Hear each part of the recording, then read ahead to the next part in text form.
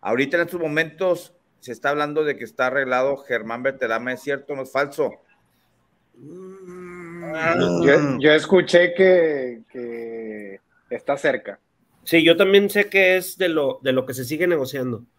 De lo que se sigue negociando. Ah, Berterame había dicho que, no era su intención salir a, México a otro equipo y que estaba buscando opciones en Europa, pero pues así ha pasado con muchos, ¿no? Que su, su intención es irse a Europa no significa que en Europa tenga la intención de llevarlo.